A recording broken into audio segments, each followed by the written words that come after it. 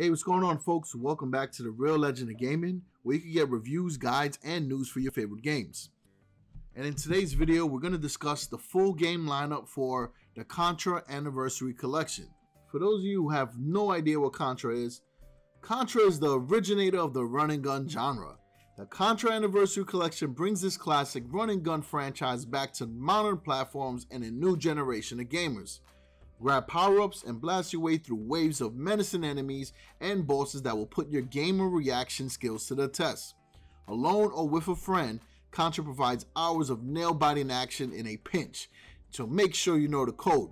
Now this game will be digital only, but it's coming out early summer 2019 for a decent price of $20. And the game will be releasing on the PlayStation 4, the Xbox One, Nintendo Switch, and on the PC via Steam. So now let's get into the lineup. So the full Contra Anniversary Collection lineup is going to include the Contra Arcade, which is my all-time favorite, right? Probably the first arcade game I ever played. Might have dated my age right there, but who cares, right?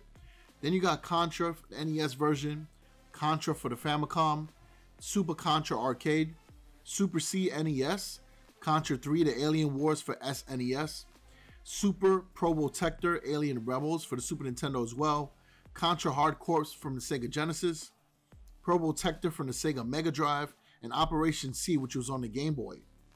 So it'll be pretty fun, right, playing Contra, and some of these have different variations as well. Like, for example, Contra Hard Corps was the first game in the franchise where players could choose between four characters.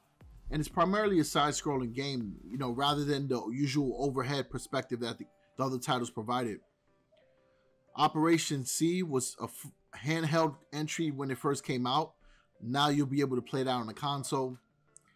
Probotector was originally launched in Europe with two robotic protagonists, RD008 and RC011, and they replaced Bill and Lance. So on top of these variants, you're also going to get six Japanese versions of Contra games, and that's going to be the Contra Arcade, Super Contra Alien no Gyakushu in Japan, Super C known as Super Contra in Japan, Contra 3 The Alien Wars known as Contra Spirits in Japan, Operation C known as Contra in Japan, and Contra Hard Corps which is known as Contra the Hard Corps in Japan. So those games will be available as a free update as soon as you buy the collection. In addition to the collection, you're also going to get a digital bonus book of extras that provide a good look into the history and the beginnings of Contra. So if you're a huge fan of Contra, this is going to be an ideal collection for you to pick up. And again, the price point isn't bad. Twenty dollars. It's it's pretty decent for a collection this size. And you know, it should be coming out hopefully really soon. They announced Castlevania a few days ago, so it's good to know that Konami's looking to bring these games over to the new modern consoles and allow us an opportunity to relive those nostalgic moments. So I'm excited about it. I hope you guys are.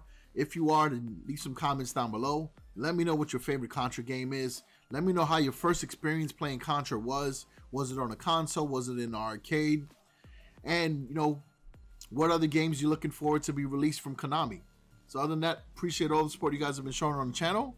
If you appreciate the video, then slap the like button, share it on your social media, share it with your friends, and nonetheless, subscribe for more content in the future, all right? So thank you, folks. Peace out.